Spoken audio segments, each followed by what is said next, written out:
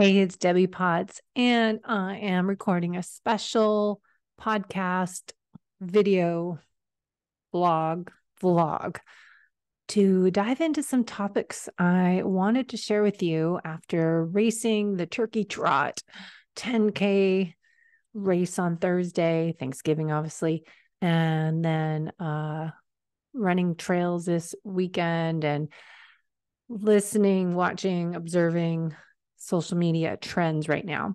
And as we focus on this podcast to talk about the aging endurance athlete, how best to fuel, train, and perform your best so you can thrive as you age.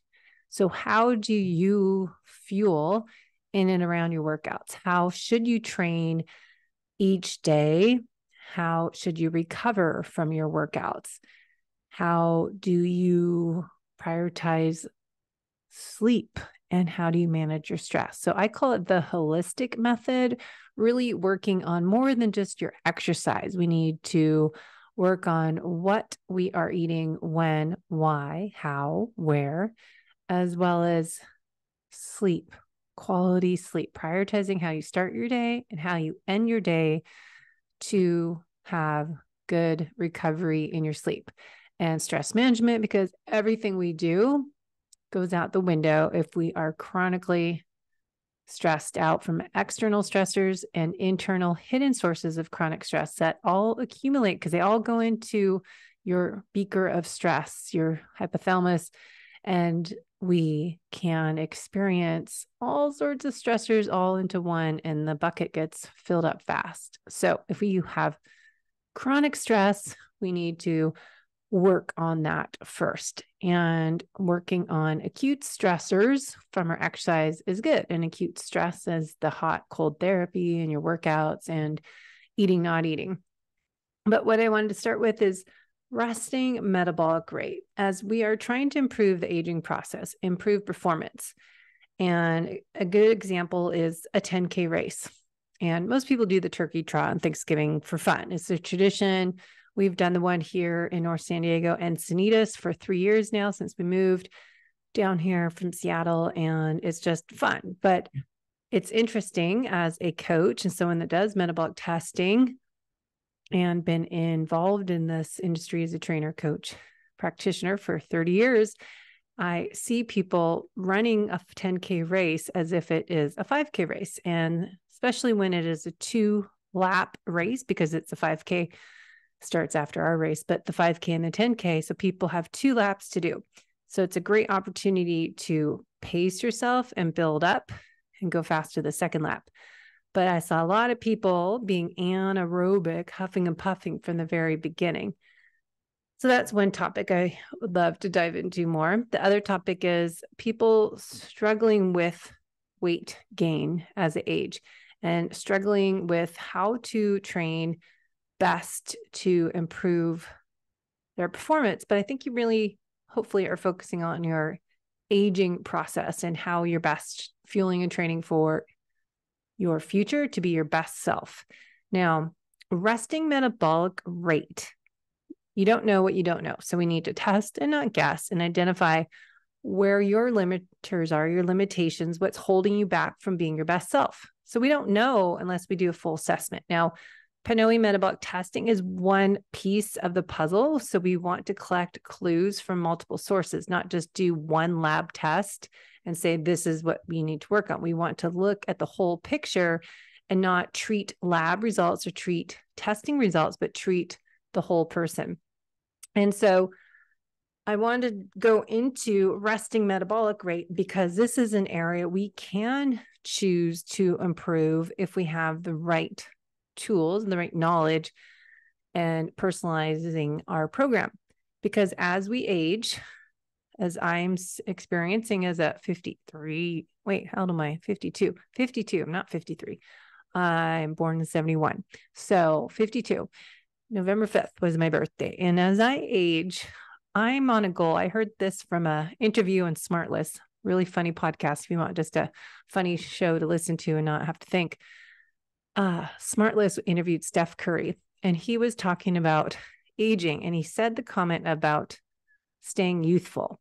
So I'm starting to stay, say that instead of getting older, improving the aging process, I really like saying, I just want to stay youthful because even though I am in my 50s, I struggle to say that age and I feel and I want to stay in my like 45. I feel like I'm not, I don't know what I need to do my metabolic tests. I know what my biological versus chronicle logical ages, but I feel that I'm younger than I am. So my mindset is staying youthful. What can I do to improve the aging process to create my future self? So I'm staying youthful as I age. Metabolic rate, doing the metabolic test with Pnoe, we do a 10 minute measurement of your breathing. So, what I want to go into is a huge rabbit hole as I always want to know why. So, I'm adding more of these why podcasts and videos on my YouTube channel for you if you like to geek out and you always wonder why. Like here, living in North San Diego, how does the tide work? how is it super high tide and low tide? And how is the moon connected to the ocean and the tide? And how's the marine layer? Just things I always want to know why. Like, where do the lizards go when it's not hot out?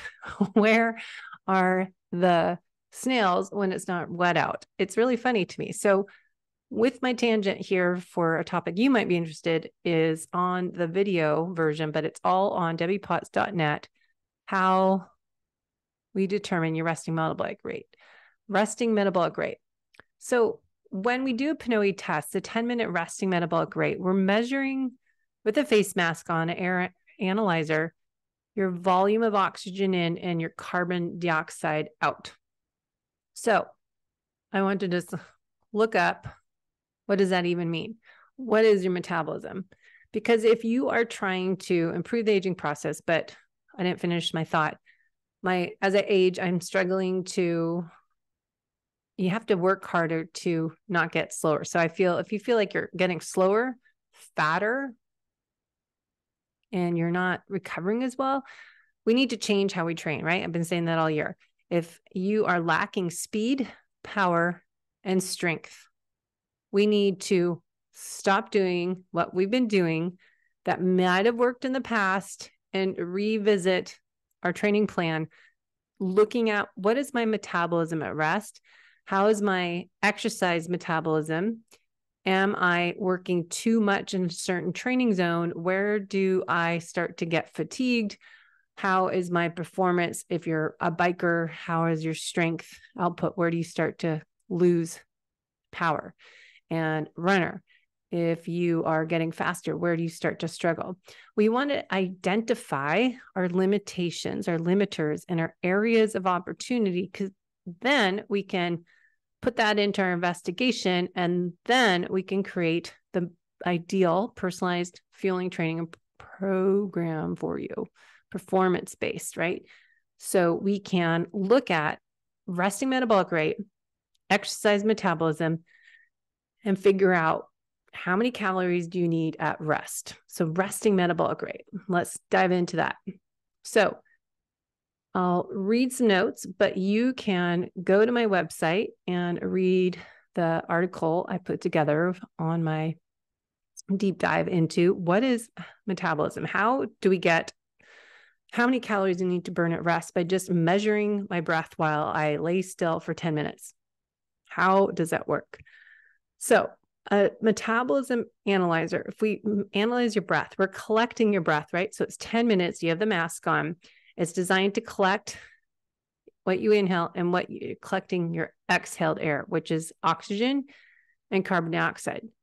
The Pnoe analyzer measures the concentration of oxygen O2 and carbon dioxide CO2 in the exhaled breath.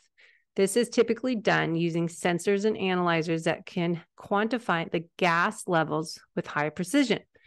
So that is what I am using on clients here in North San Diego, Solana Beach, and Del Mar. Now, metabolic calculations based on the measured levels of oxygen consumed and carbon dioxide produced, the Pnoe Metabolic Analyzer can calculate the respiratory exchange ratio, which we've talked about before, called RER. And thus we can find the resting metabolic rate, RMR. The respiratory exchange ratio is the ratio of carbon dioxide produced by carbon dioxide produced to the oxygen consumed. So, oxygen, the ratio between CO2 and O2. RER provides information about the fuel source being used for metabolism. During macronutrients, your carbs, fat, and proteins are your macros, have distinct RER values. Resting metabolic rate, your RMR, is an estimate of the number of calories the body needs at rest to maintain basic physiological functions. It is calculated based on the oxygen consumption and carbon dioxide production using the formulas, as we discussed, related to gas exchange to the energy expenditure. So now you know respiratory exchange ratio is RER. That's the ratio of the carbon dioxide to the oxygen. And the RMR is the estimated number of calories the body needs at rest to maintain basic physiological functions. So that is it. Just the no exercise, no daily movements, just to survive. Okay. So we get that number when we do your metabolic test. Now, the PNOE metabolic analyzer is a non-invasive real-time assessment by resting me- measuring your resting metabolism because we're analyzing the composition of your exhaled breath. This gives us information to help you figure out your nutrition and exercise program. And so then I wanted to know okay, RMR, yes, it's the number of calories we need at rest to maintain basic physiological functions. But how how do we get that number? So I was asking PNOE and my rep there, Pavlos, and I wanted to know more. So give me all these articles, but I looked this up because how does it calculate? You just you're breathing. How does that give me a number? Say I need three thousand calories a day. So RMR, again, repetition is good to think, get this in. Is a measure of the number of calories the body needs at rest, right, to maintain. So we went over that.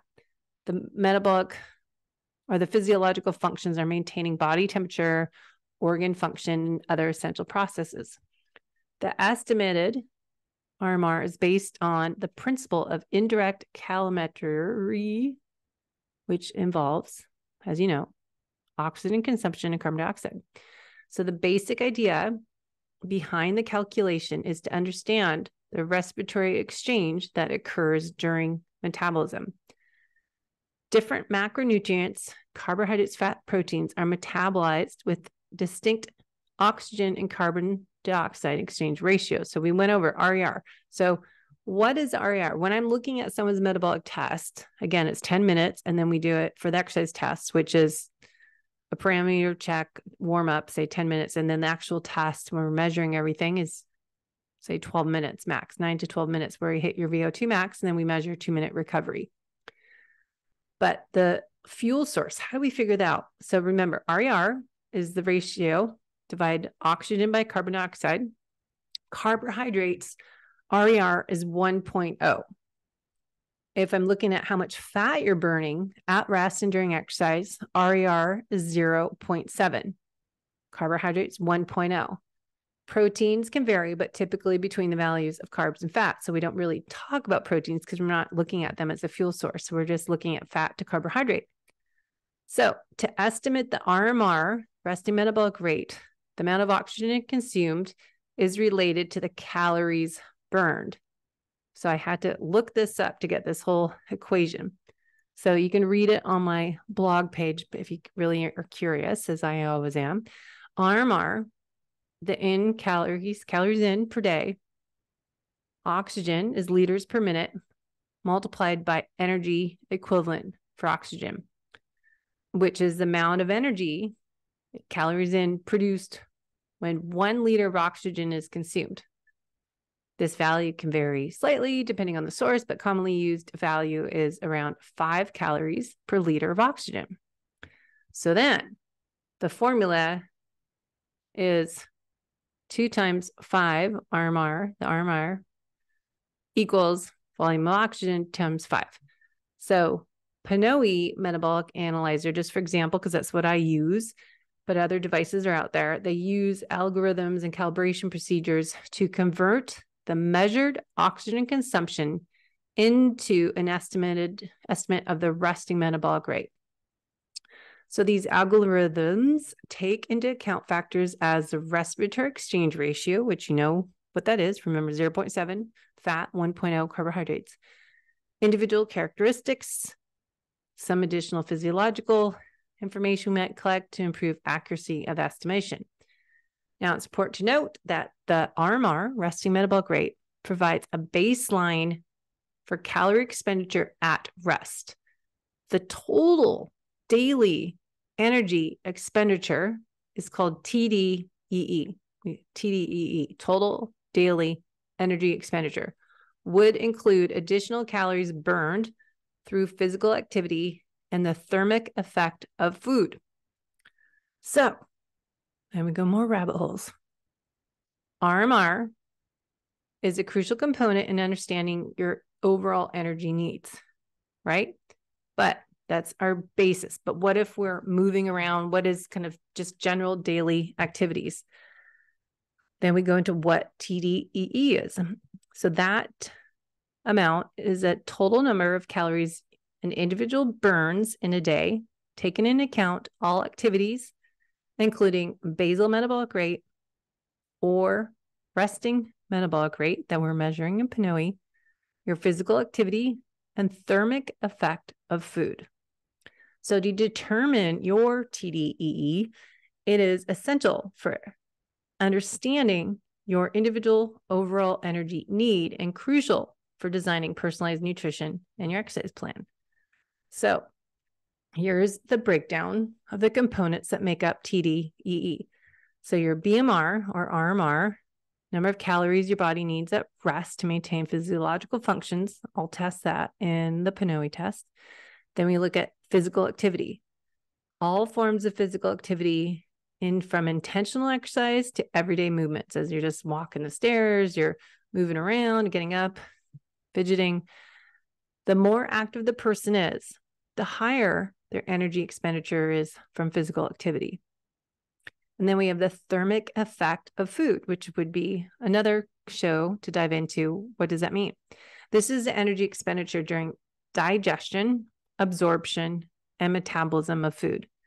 Different macronutrients, your remember, carbs, fat, proteins are your macros, require varying amount of energy for digestion and utilization. On average, TEF, thermic effect of food, contributes to about 10% of your TDEE. Okay. So, how do you figure out the TDEE? Another rabbit hole. So the TDEE is found by taking your resting metabolic rate plus your physical activity plus the thermic effect of food. So you'd have to know what you're eating in a day to get a sample of what that is. So accounting for TEF is typically a fixed percentage of the total calorie intake for the day based on macronutrient composition of your diet. So you can figure that out to understand your energy balance, helping you adjust your calorie intake to meet your goals. If it's weight maintenance or weight loss or muscle gain, I would rather talk about recomposition of losing fat weight, gaining lean tissue, increasing your metabolism. Because the next rabbit hole I went into, how can we improve our metabolism? How can we can improve our total daily energy expenditure because it's based on our metabolic rate so, how do we increase our resting metabolic rate, the foundation? How many, without doing any activity, how can I increase that number? Thermic effect of food. What am I eating? What foods would help me improve the thermic effect of foods? I'm burning more calories from eating. And I would think that would be protein.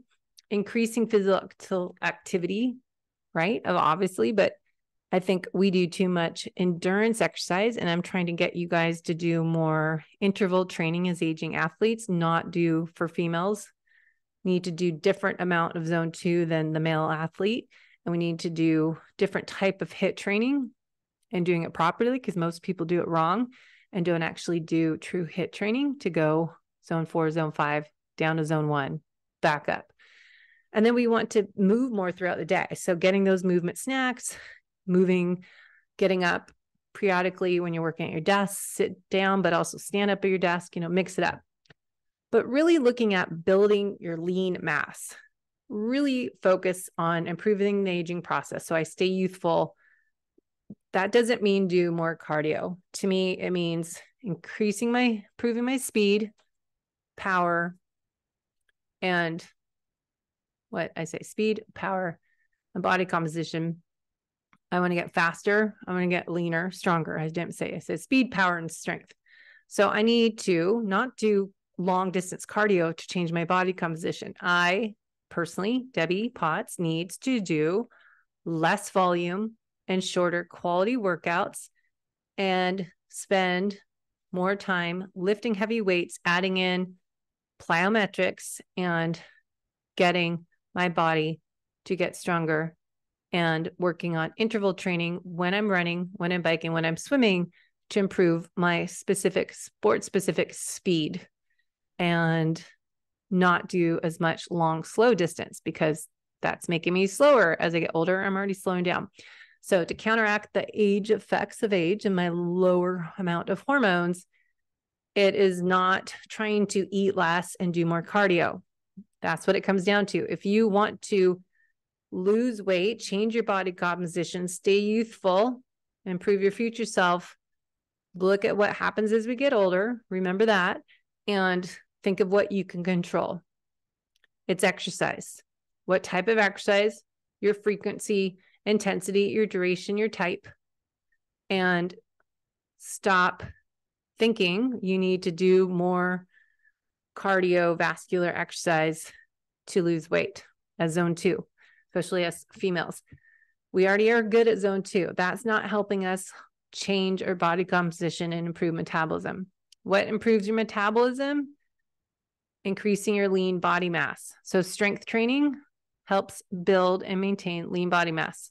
Muscle tissue is metabolically active, which means it requires more energy at rest as compared to fat tissue. So just focusing on losing fat isn't the solution. You should, we should ideally be focusing on improving strength, improving muscle mass, increasing your lean body mass. Focus on that, and the fat issue will change. Staying active throughout the day, avoiding long periods of sitting, taking breaks, as I should right now, stand, stand up, stretch, walk throughout the day. This helps contribute to NEAT, NEAT and helps burn additional calories. So just always kind of moving around as I'm doing right now. So stay active throughout the day, break up times of sitting. Then we have optimized nutrition, and that's getting the right amount of protein. And as we've been speaking about for months, and meal timing, getting that 12 hour fast from dinner to breakfast, and then eating your meals, timing it with your exercise. So you are not eating too much before workout. You're having more protein. A post workout woman focusing on hitting like a protein shake with just the protein, 20, 30 grams of protein, 30 minutes post workout. And when men can go up to three hours in their window, but women, we need to just have a, a whey protein and some water blended together and then time your meals when you're ready to digest your food. So, some ideas are small, frequent meals, increasing the thermic effect of food.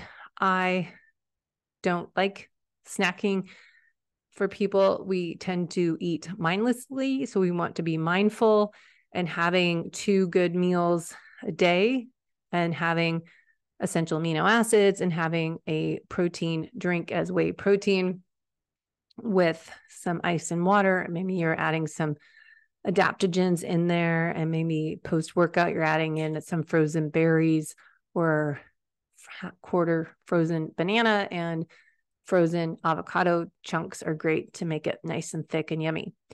Now, so that's meal timing and balanced diet. Now, sleep is huge. You'll talk about in other episodes. We will talk in future episodes on this quality sleep.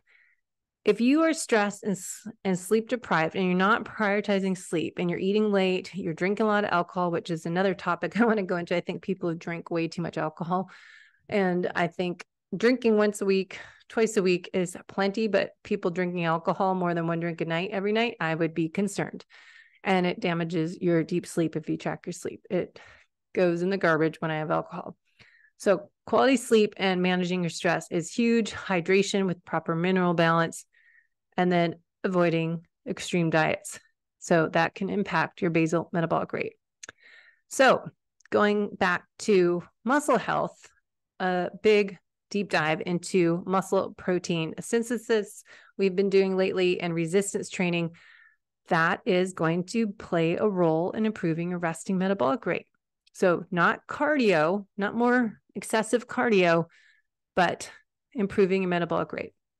So you can read all this in my blog because it goes on and on and on. I just looked up stuff. So muscle mass, basal, mono, basal metabolic rate, you're testing that two to three months, your muscle protein synthesis, and listening to Dr. Gabrielle Lyon and Donald Layman talking about the leucine threshold and making sure your protein timing that throughout the day and making sure your protein that you're having, ideally animal versus plant based, to hit that leucine threshold, which is really challenging to get enough of the amino acid profile you need to get the right amount of leucine.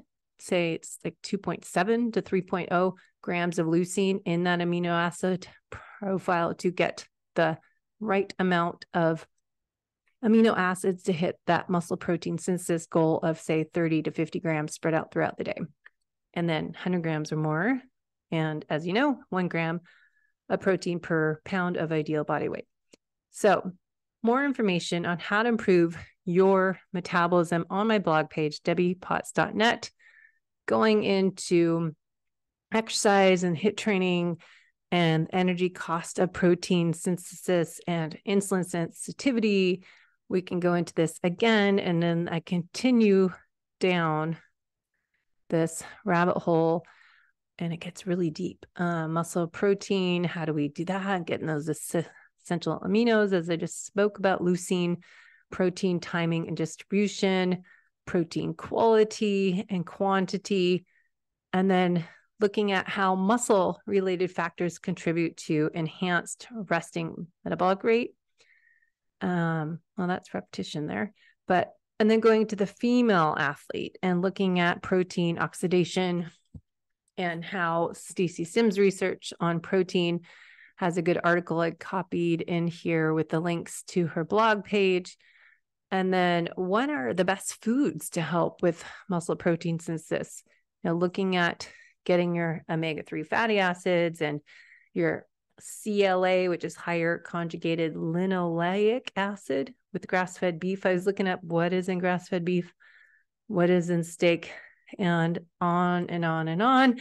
Lastly, you can go and read the other section on here is what is the best type of exercise to improve muscle health and resting metabolic rate. So, looking at your resistance training, what type of exercise for resistance training, for cardiovascular training, flexibility, mobility training, you know, getting all that into a comprehensive exercise program is important. And then a female with their hormones and her menstrual cycle, and then pre, peri, postmenopausal, you know, really looking at strength training, power training, speed training, proper nutrition, getting your protein, and then going into how women can do that is what we can talk about. And you can go back to my many other podcasts that I've been working on, just lifting heavy stuff. And resistance training is the best way to generate those muscle making cells. Lifting heavy provides strength building stimulus as we need it more as our estrogen declines. Heavy lifting is good for improving fat burning metabolism, building bones, and your cardiovascular health. This means three to five sets of six or fewer reps to muscle fatigue at six with full rest, two to five minutes between sets with proper form. And you're doing big lifts as deadlifts, squats, lunges, Olympic lifts that spread the force out among muscles, connective tissue, and joints. And then we've got plyometrics as doing a squat jump. And then we've got sprint interval training as doing a 20, 30 second sprint. So, really important part there. I've done other episodes on, but going past, I just talked about this in a previous episode. When you females that are middle aged, my age, the best type of exercise is high intensity interval training. Super short, sharp, sprint style intervals. Stacy Sims talks about the 30 seconds or less. If you are doing intervals, ladies, past 60 seconds, if you're in and around, say over 40, cortisol, it's a good surge of energy, but you don't want those stress hormone levels to stay elevated longer than necessary to get the job done. If you're in menopause when cortisol can already be elevated, doing longer intervals is not going to help you. As we talked earlier, stress, chronic stress will impact everything, metabolic chaos. You can read my book on Amazon called Life is Not a Race, It is a Journey. There's a reason I do what I do today. So, sprint intervals, Stacy Sims says, you can still get the benefits improved insulin sensitivity, stronger mitochondria, improved fat burning, and an ever important boost of growth hormone after you finish. Tabatas are a great example 20 seconds all out, recover 20 seconds all out. So check Stacy Sims articles for the female how to power your way through menopause, looking at strength training, power, speed, your nutrition recovery, looking at box jumps, broad jumps, squat jumps, tuck jumps. Those are all lateral jumps, split. I mean, there's all sorts of things. If you can't do jumping because your knees, joint issues, then I would look at doing them in the pool, doing them on a rebounder, using the Bosu, doing the ball slams, doing rope slams. And then what are strength barbell squats, deadlifts, bench press, an overhead squat press, bent over rows, pull ups or assisted pull ups, dumbbell lunges, deadlifts, kettlebells or barbell. You can do pull ups if you're getting really good at them, weighted pull ups, front squats, barbell in front of your shoulders. I don't like using the bar and I'm working on structural issues. So I'm not uh, able to do heavy weight weighted stuff until I get this neuromuscular figured out my left side. But doing barbell squats or free weights or kettlebells is great. But a barbell or Smith rack on your back is great. Anyways, lots of thoughts there. I don't have time to go into too much more, but just lastly, to go into this slide. Daniel Crumback, my mentor on metabolic training, we did two podcast episodes you should go back and listen to for athletes training with heart rate. If you are doing zone two, let's test and determine zone two. You could be doing all your workouts in zone three. The 10K race people on the turkey trot, they should be in zone three, then pick it up into zone four on their second lap. Zone four for 10K doesn't work. So when you're looking at this chart, if you're watching my video, Daniel Crumback created this. Zone one is recovery. So zone two is your long, slow distance. Zone two training, maffetone, we talked about forever, the max aerobic function heart rate would be in this zone two.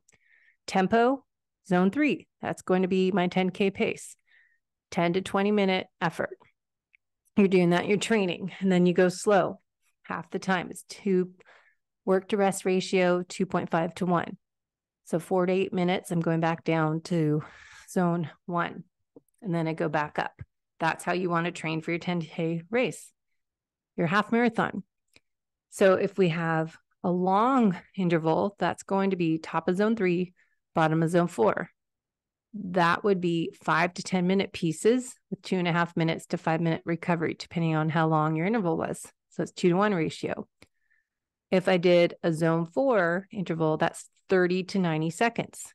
That would be an RPE of eight to nine one to one ratio. So my recovery in zone one, staying down in zone one, not just hit there, but I'm in zone one for 30 to 90 seconds.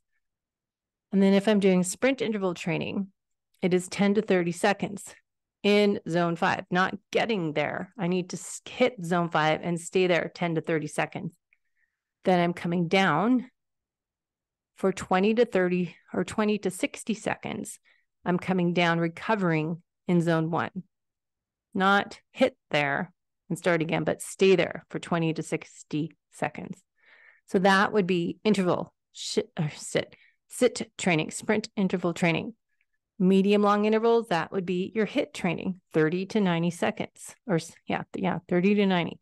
If I'm doing tempo, it's five to 10 minutes, kind of long intervals, but more tempo, longer. Typical is 10 to 20 minutes, and then zone two. So, something to think about. Another topic I want to go into a little bit more the role of mitochondria NAD and nitric oxide. We'll talk about that, how age related declines in NAD to various tissues. Interesting article here. You can go back and read and sirtuins and looking at how to improve our NAD levels. That's coming up on another podcast. Not selling supplements, but just learning more about NAD because everyone has uh, NAD injections in San Diego. So I want to go into that. So if you want to improve NAD levels, check this article out. And then Stacy Sims. Then I want to go into Dr. Dan Plews on Endure IQ, talking about carbs, because that's another big topic. People are talking about carbs, timing. And then if you look on Endure IQ, right fuel, right time, that's a great chart to find and women might be a little different than this chart. Okay. So men and women aren't exactly the same as we know. Research articles. You can see the links on the Endure IQ articles, peak oxidation, more information. And really, what I'll be doing is I'm testing more starting January, looking at how we can improve our metabolism and women versus men, and then women different times of their cycle. So hopefully that gives you some ideas, some reading material, and a deep dive into how to improve your resting metabolism. Thanks for listening. Let me know what you want me to dive into next time.